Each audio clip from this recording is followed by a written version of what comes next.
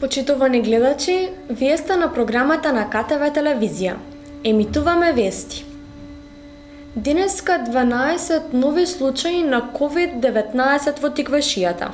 Едно лице починало на клиника, а заразено е уште едно дете во градинка.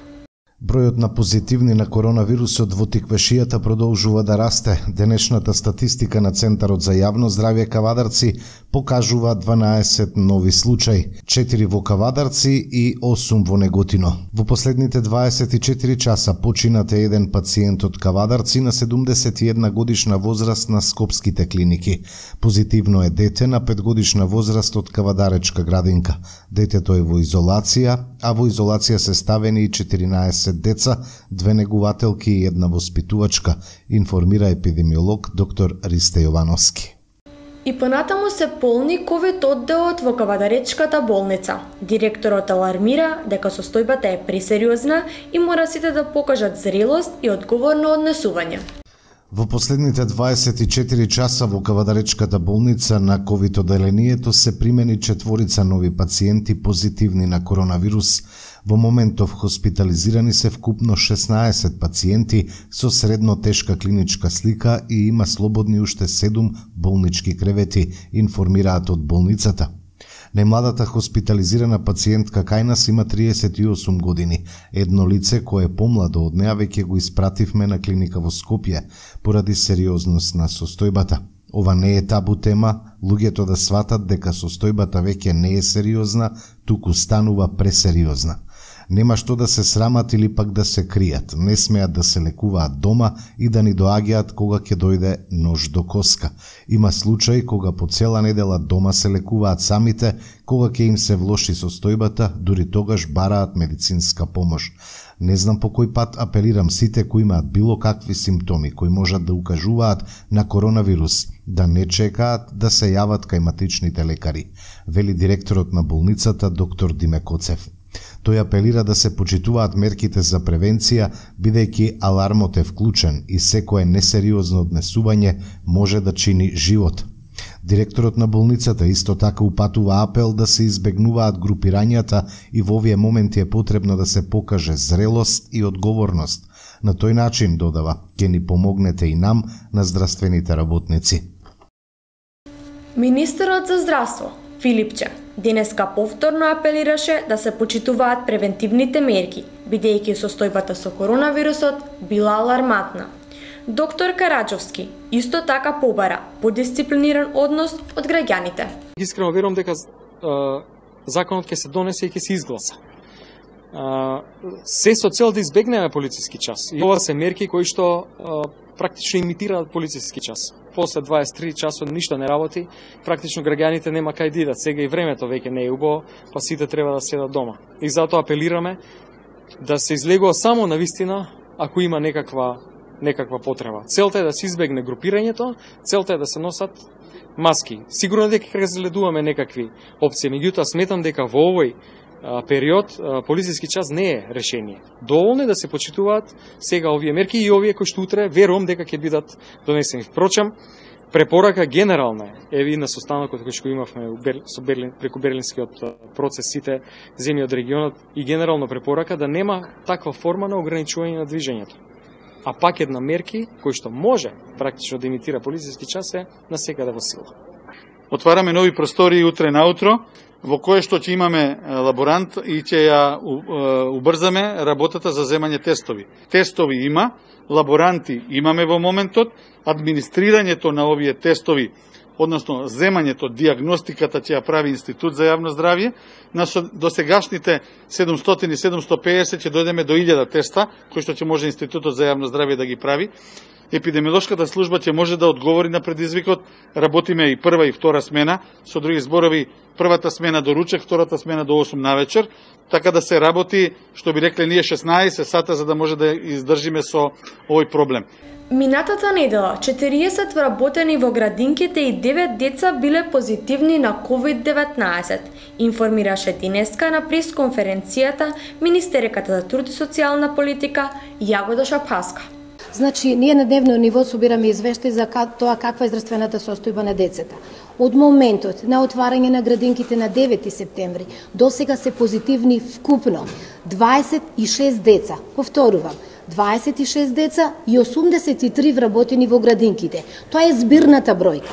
Меѓутоа, следејќи динамиката на ново појавени позитивни случаи, евидентно е зголемувањето на бројот на позитивни, како на дечиња, така и на вработени во градинките, како што се одвива епидемиолошката состојба со пандемијата со COVID-19 во државата и од тука бројката за последниот пресек од минатата недела од 17 до 25 октомври е нови позитивни 9 деца и 40 вработени.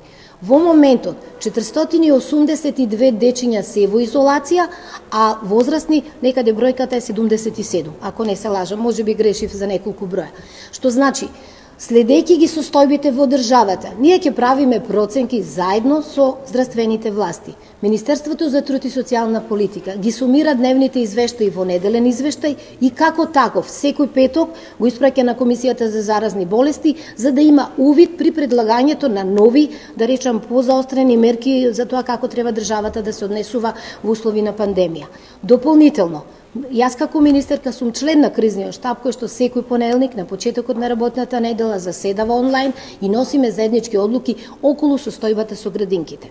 Сакам да истакнам дека сите вработени и дечињата кои што биле позитивни се во добра здравствена состојба.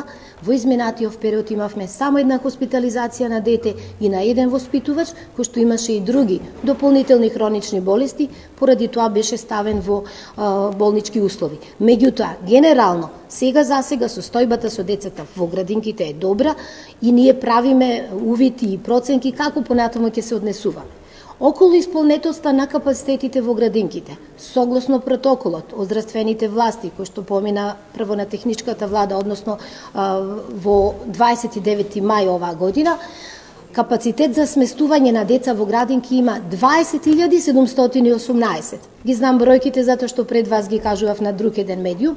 Од таа бројка 10.700 деца посетуваат градинка, што значи капацитетите согласно протоколот не се исполнети. Родителите ги запишале дечињата, меѓутоа не ги носат во градинка. Ке видиме како се одвива состојбата и заеднички со владата ке носиме одлуки што понатаму. 697 санкции за неносење на маска, информираат од МВР. Во текот на изминатото деноноќие на територијата на Република Северна Македонија, по однос на мерката за лична заштита на лице, регистрирани се 697 прекршаци.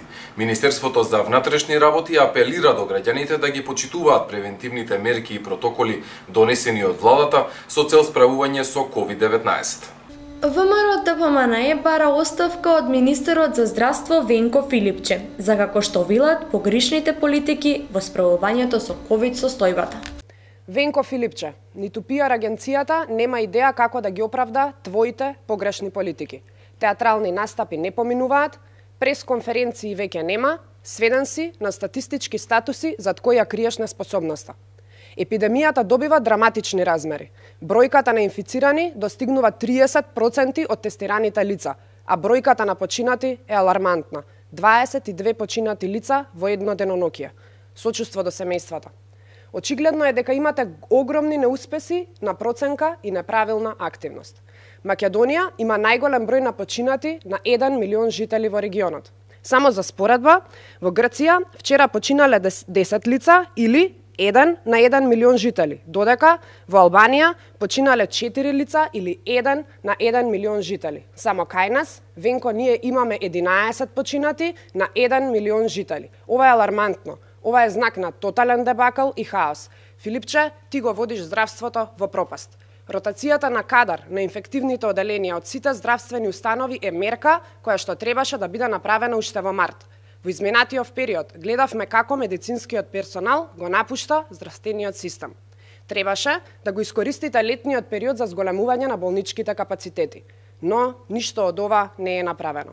Секој еден граѓанин сега ја разбира вашата политичка потреба од воведување вонредна состојба на тогаш 50 на заболени – А денес, на вака масовен и брз развој на вирусот, суспектните лица на COVID-19 чекаат 5 дена за тестирање, затоа што нема термин, нема капацитет и нема алгоритам. 1125 тестови вчера се направени во приватните лаборатории кои граѓаните сами ги платиле. Кризата ги разоткри нееднаквостите и неправдите кои ги правите. Во дадениот предлог закон нема ниедна конкретна мерка за борба против пандемијата, но на Социјалдемократскиот сојуз и треба изговор и треба виновник за црните рекорди. Морам да напоменам дека на ова ниво на загрозаност од пандемијата Македонија за жал има еден од најголемите стапки на смртност по однос на 1 милион жители во Европа. Затоа, сметаме дека мора да реагирате посериозно, мора некој за сегашната ситуација да понесе одговорност и мора постручни лица да ги заземат местата на оние членови на комисијата. Да, сублимирам, Венко Филипче, оставка. Викендов се избираа раководните тела на Сдруженијето на пензионери во Кавадарци. За председател на извршниот одбор на Сдруженијето е избран Диме Коцев. За подпредседател Ѓорги Лазов. За председател на Собранието на пензионери при Кавадаречкото Сдружение е избран Васил Димитров, а подпредседател Гордана Јордановска. Поздрав до сите кои што се пензионери и кои што се заинтересирани да ги спроведеме овие избори во Сдруженијето на пензионерите. Одржуваме заедничка седница со сите 13 од граници да одбереме делегати во границите вкупно се тоа 26, потоа ќе одбереме делегати во собранието, вкупно 31 и 13 делегати во извршниот одбор или од секој одбрана по еден делегат. Ще се избира делегати од, орган... од ограности и тоа Любас, Задругар, браќа Досови, Кула, браќа Джунови, Киро Крстев, Страшо Пинџор, Росоман, Ваташа, Сопот и Марена, Дренови и Возарци и Конопиште и Босева. Купно 17, 70 делегати денес треба да ги потврдиме. Иницијативниот одбор е формиран бидејќи поранешниот председател Ристо Анджушев требаше да ги распише и спроведе овие избори уште во октомври месец 2018 година. Тоа се председател а председателката на собранието Вилета Андова не постапуваше според членот 15 од статутот на Сдружението на пензионери и место да редовните законски избори се одржуваат, тие самоволно си го продолжуваат својот мандат, што представа, што представува кривична одговорност, односно да раководат цели две години без законска верификацијонен мандат – Исто така напоменуваме дека председател Тристан Джушев раководи во два мандата 2010 година до, до 2014 и од 2014 до 2018 и по законот препишан во статутот нема право на два мандата.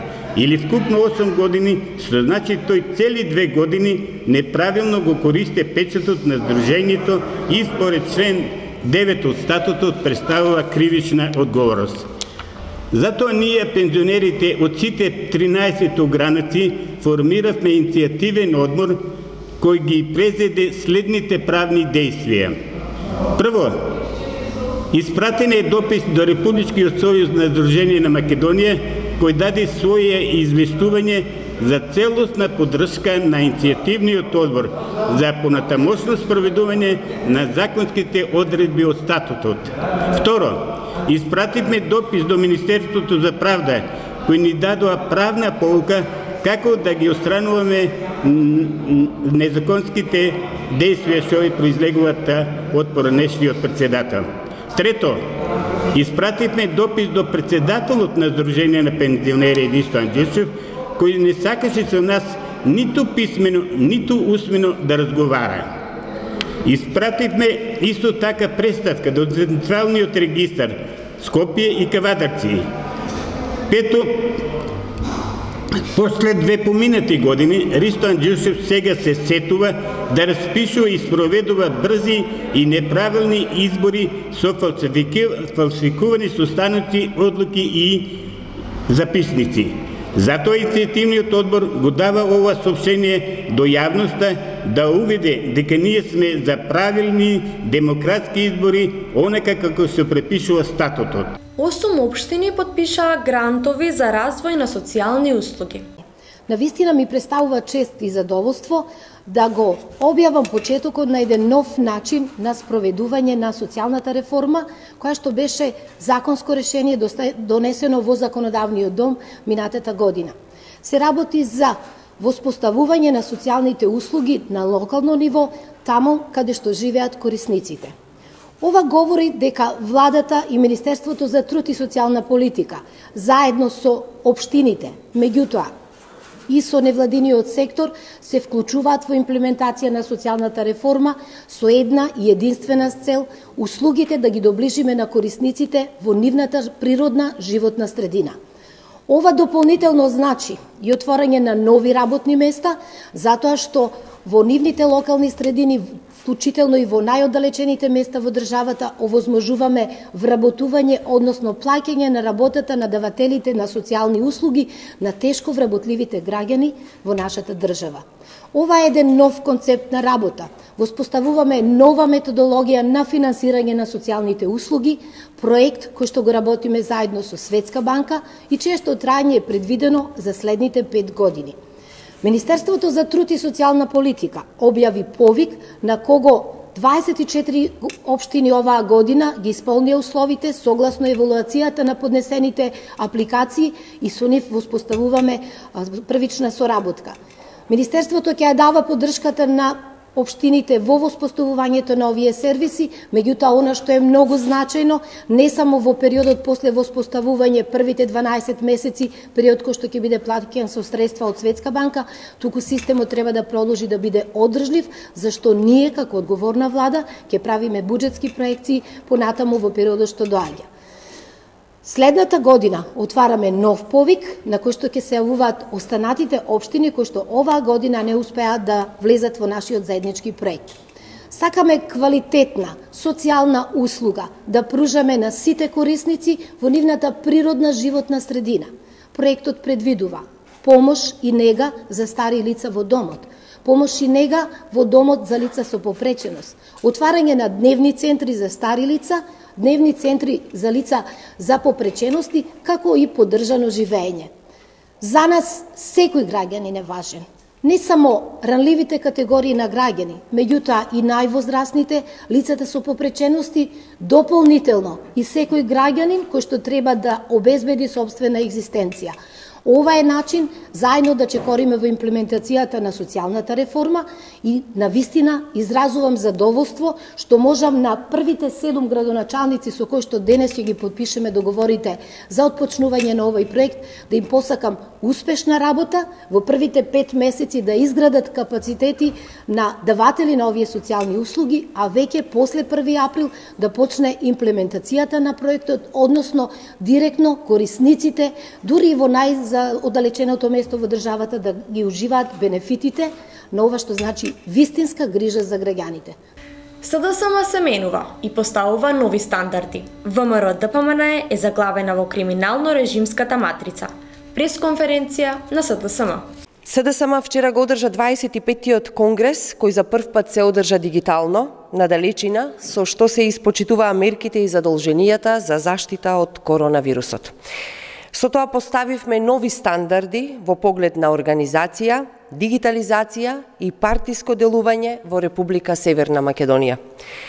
И додека СДСМ, согласно статутот, одржува конгрес по изборите на кои победи, Христијан Мицковски, губитник на изборите, бега и од самата помисла да одржи конгрес на партијата, иако тоа од него го бара сериозен дел од членството. Со статутарните измени сада сама покажа дека знае и да победува и да се менува. Партијата дополнително се демократизира и се отвара кон членството и граѓаните. Во исто време, во ВМРО ДПМН се е исто. Тоа е партија која нема капацитет ниту волја за реформи, за унапредување на внатре партиска демократија. Со политиките на СДСМ, државата оди напред – Денес сме 30-та земја членка на НАТО и наскоро започнуваме преговори со Европската Унија. Со ВМРО ДПМН има само враќање назад, назад кон изолација и неизвестност. СДСМ е отчетна партија, посветена на правда, ред и дисциплина, затоа воведуваме кодекс за однесување на членовите на СДСМ. Истовремено ВМРО ДПМН е длабоко заглавена во криминалната матрица. Партијата предводена од Мицковски знае само да го брани криминалот и криминалците во редовите на ВМРО ДПМН. Ова почитувани со се огромни вредносни разлики. Затоа СДСМ во последните години постојано ја добива довербата од граѓаните, затоа Мицкоски губи три пати поред на избори, затоа неговата ВМРО ДПМН е во позиција и уште долго ќе остане таму.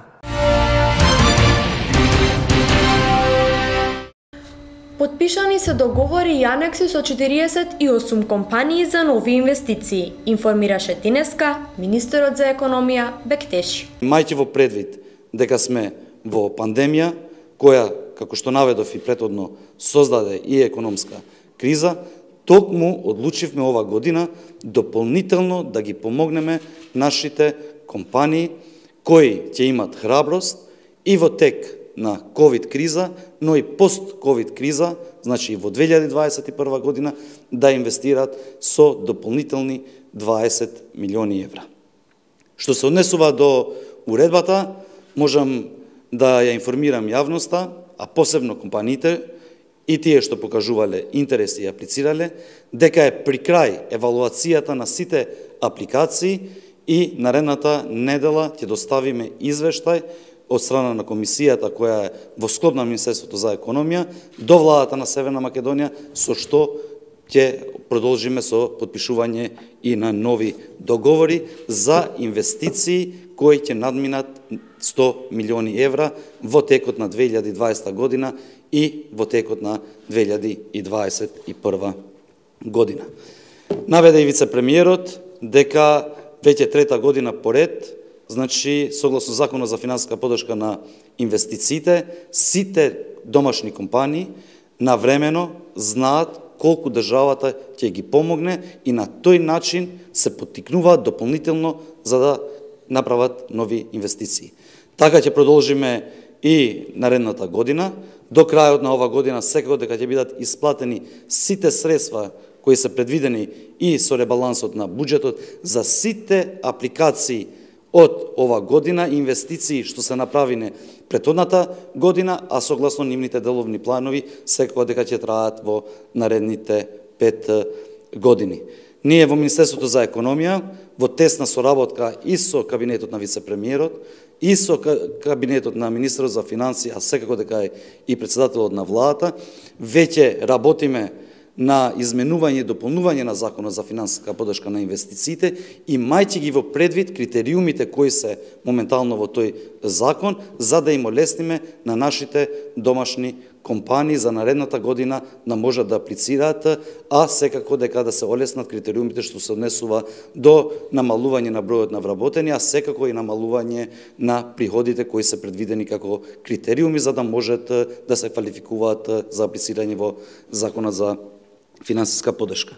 За крај, би сакал да им честитам на сите компании, на 48 компании кои добиле договори од, заедно со владата ова година што се однесува до нивните инвестиции, но дополнително да ги повикам сите наши стопанственици да навлегуваат во нови инвестициони циклуси, имајќи во предвид дека тие се обезбедени со закон, а државата секако дека согласно законот, не согласно програми, ќе ги поддржува и во иднина, значи сите наши домашни компании веќе се третираат исто како и странските компании и не правиме разлика какви инвестиции се прават. Дали се прават во технолошките е, зони или пак се прават од домашни компании кои се надвор од зоните.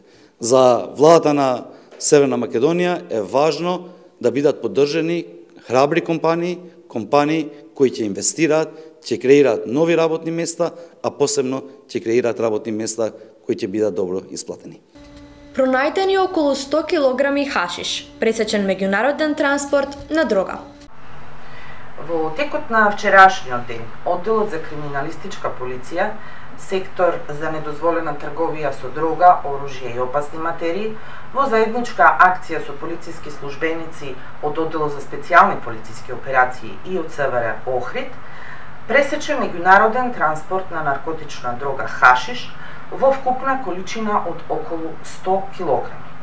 Имено околу 12 часот и 20 минути во близина на градските гробишта во Охрид било сопрено товарно возило Комбе Цитроен со скопски регистарски ознаки управуван од ЧБ, 53 годишен државјанин на Република Турција. При преглед во комбето во задниот багажен дел пронајдени се три поголеми картонски кутии и една полиетиленска торба со 114 пакувања на хашиш или во вкупна количина од околу 100 кг. ЧБ бил лишен од слобода и приведен во полициска станица во Охрид. По превземени мерки и активности утврдено е дека ЧБ пред околу две недели пристигнал со авион од Истанбул до Приштина, а потоа влегол во нашата држава и во Скопје имал средби со неколку лица со цел да го изврши транспортот на дрогата од нашата земја во Република Турција. По комплетирање на целосната документација против ЧБ ќе биде поднесена кривична пријава до основното јавно обвинителство во Охрид, а со цел определување на мерка притвор.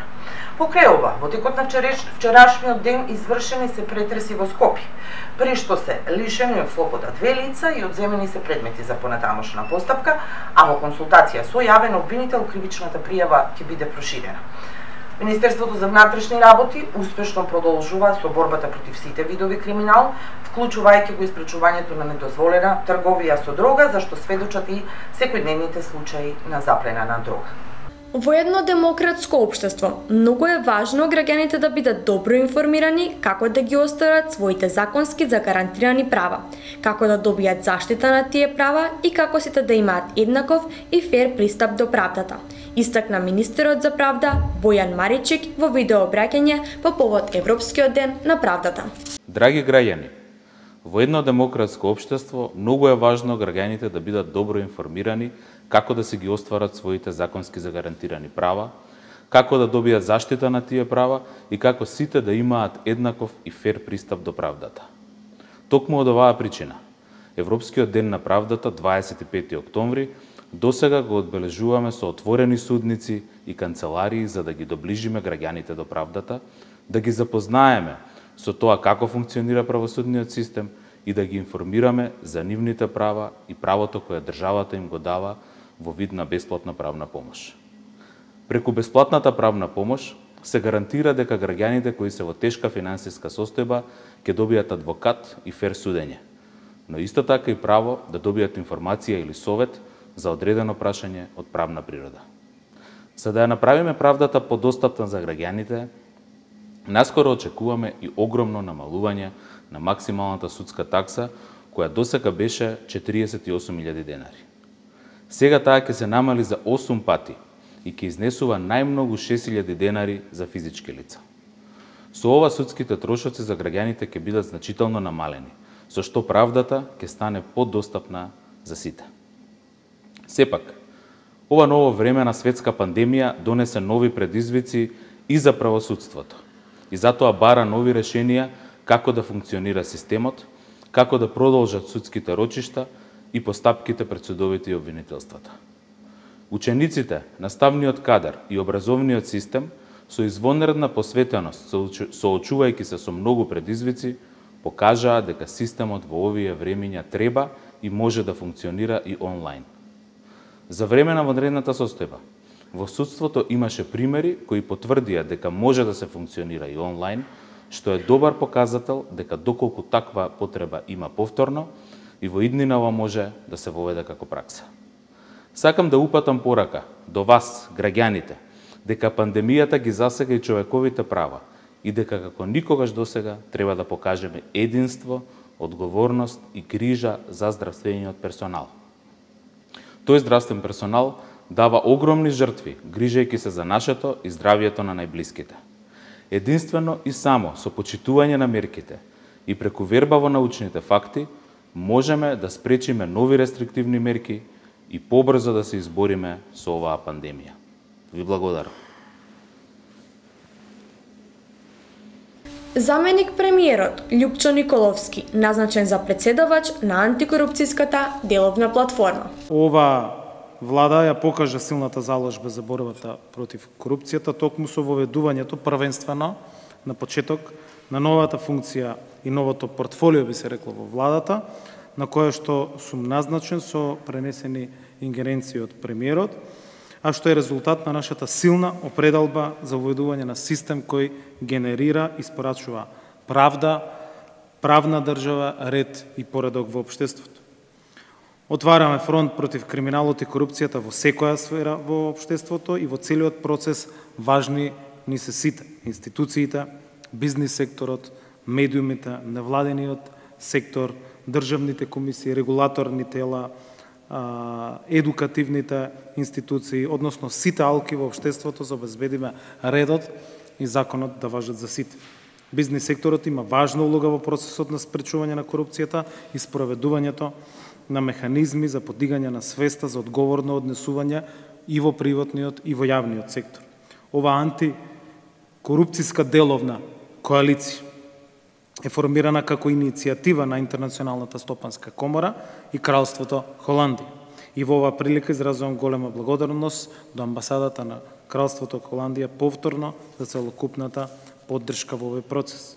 Заеднички ќе работиме на создавање на услови за атрактивна деловна клима преку добро и одговорно управување, застапување и одобрување на најдобрите меѓународни практики за интегритет и зајакнување на капацитетите на јавните и приватните институции во државата кои се клучни во градењето, односно во, во градењето на одговорно деловно однесување.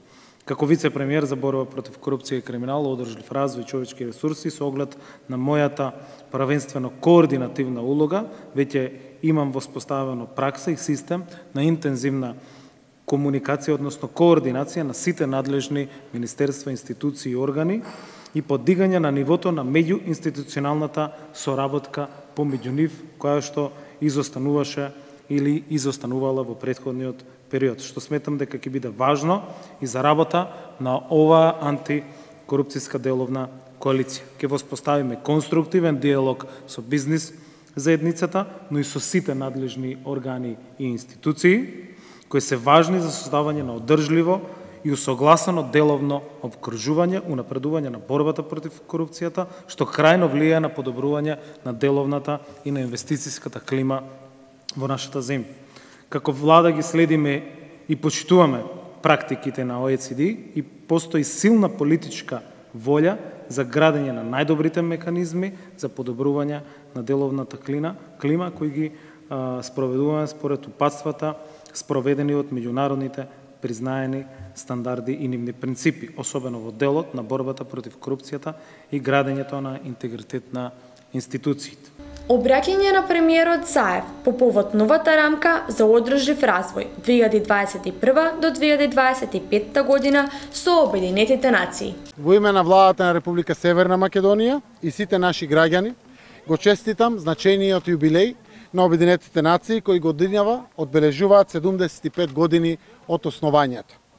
Во чест на овој голем јубилеј, владата на Северна Македонија денеска ја подпиша новата рамка за соработка за одржлив развој 2021-2025 со Обединетите нации.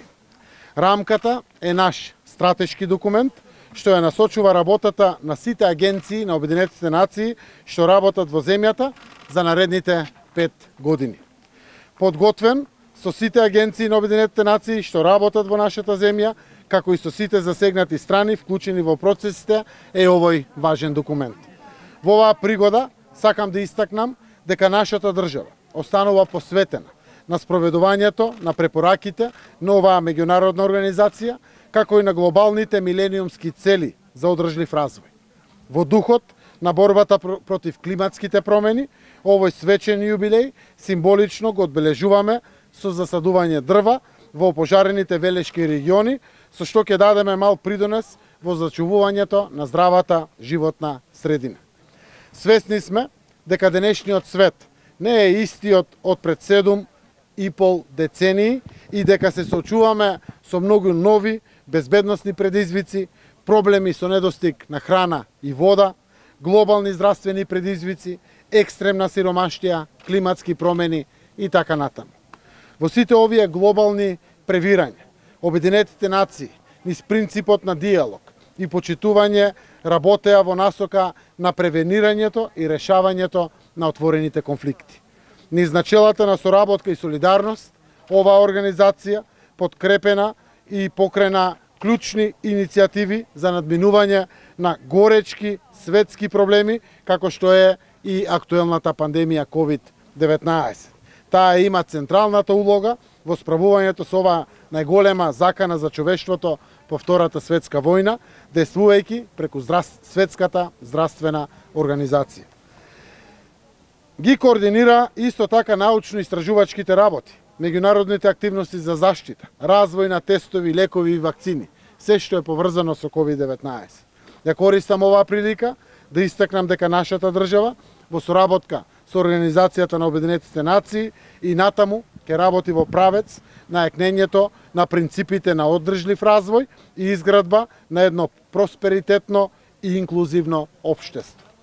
Рамката за одржлив развој, креирана во соработка со владата на Република Северна Македонија, е фокусирана на неколку стратешки приоритети за наредните пет години. Само одржлив и инклузивен општествен развој, борба против климатските промени, транспарентно и одговорно демократско владење, владење на правото, градење на родово сензитивни политики и политики на социјална кохезија, како и за градење на одговорни и отчетни институции. Нашата силна посветеност на усогласување на националната политика и законодавната рамка со целите за одржлив развој е уште еден доказ за нашата цврста волја и определба на сите наши граѓани да ме обезбедиме подолг, поздрав и поквалитетен живот.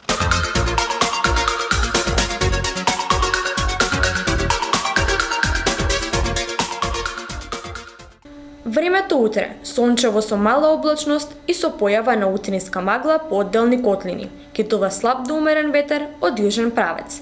Температурата ќе достигне до 22 степени. Почитувани гледачи, вие сте на програмата на КТВ телевизија. Гледавте вести. Имајте пријатна вечер.